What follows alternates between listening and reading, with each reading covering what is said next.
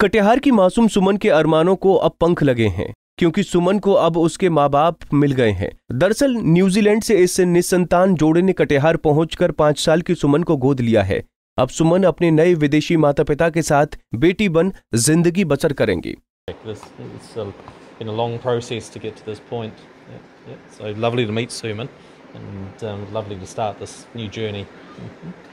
uh, been a long process to get to this point. Yeah, yeah. So lovely to meet Suman and lovely to start this new journey. Uh, do you assure us that you will take care a lot after uh, she will be with you in New Zealand? Yes, of course. Yes, of course. New Zealand has lots of opportunities and it's a lovely place to, to grow up and, and live. hmm And um, there'll be lots of opportunities for Suman and, um, and importantly to us, we want to keep her culture alive so we can come back and, you know, and be, so we don't lose sight of Your name, please. Yeah. Dan Hansen. Katihar पहुँचे New Zealand के Daniel James Hansen ने बताया कि वो पिता के तौर पर सुमन को एक बेहतर ज़िंदगी देंगे डेनियल की पत्नी सर्बोनो क्रिस्टी ने बताया कि ये उनके लिए एक भावनात्मक पल है जिसको वो बयान नहीं कर सकती वो सुमन को लाडली जैसा प्यार देकर उसको बेहतर ज़िंदगी देंगे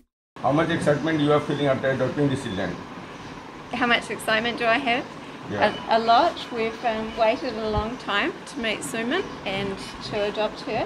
So a lot of excitement. You're, you're from where? From Tauranga in New Zealand. How, how this idea come to your mind to adopt these children? There are so many children in India who is helpless or something like that. How this idea come to your mind uh, to adopt Suman? Uh, as foreigners, we uh, are matched by Kara with a child and we accepted our match with Suman.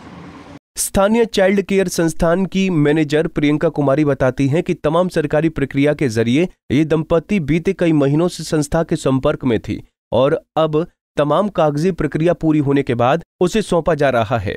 कहाँ के दंपति madam कैसे?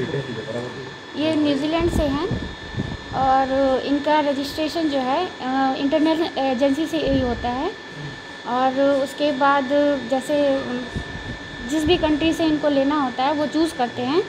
और हमारे यहाँ के जो India के जहाँ जहाँ पे हेग कन्वेंशन हुआ है जिस कंट्री से हुआ है उसी कंट्री से इंडिया का एडॉप्शन होता है। तो उसमें एक न्यूजीलैंड भी है। और किसकी बच्ची क्या क्या नाम है है? सुमन कुमारी नाम है जिस बच्ची का एडॉप्शन हो रहा है। अच्छा। कहाँ से आप लोग उसको कितना साल की उम्र में लाए था? अभी कितना साल की उम्र है? अ, हमारे यहाँ ये गया से ट्रांसफ़र होके आई थी।